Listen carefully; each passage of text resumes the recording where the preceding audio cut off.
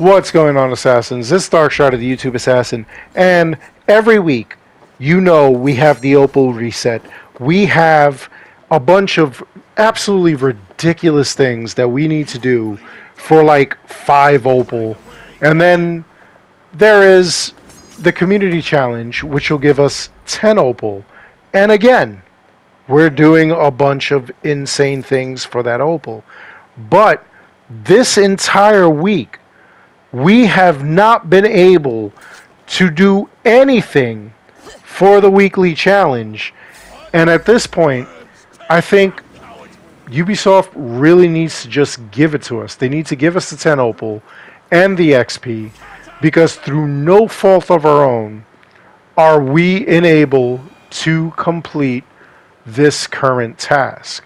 And that task is we want you the Jomsvikinger thing where you need to recruit other players in uh, other players Jomsvikings in order to join your crew. As you can see, this is with 24 hours to go. We have 0 out of 350,000 Vikings hired. Why is that? Why is it 0? I mean, when I took this picture, there was still like almost 2 days left but when tomorrow comes, we're still not going to complete this, even if they release it tomorrow. In every port, there is supposed to be a Viking. And, uh, well, maybe not in every port, but you should be able to go and hire another player's Viking. You should find my Viking. I should find your Viking, etc., etc. The only Vikings that are available are the Vikings in the longhouses from the river raids, and hiring them will not count towards the counts. It will not count towards that 350,000 mark that we need to hit. And even if they were to release this tomorrow, if they were to fix it tomorrow so that we could all of a sudden be able to get this done, we couldn't. Well, not tomorrow, but today. We couldn't get this done. We can't hire 350,000 Vikings. Some people are resting, some people are working. I mean, it's ridiculous. But in most ports, and I have gone to every single port to look for a Viking, I have not found one. Now, by no means do I think that none of you have been able to find a Viking. And I've actually traveled to Norway, Ireland, the Isle of Skye, Vinland, and Francia, and I have not found not one Viking.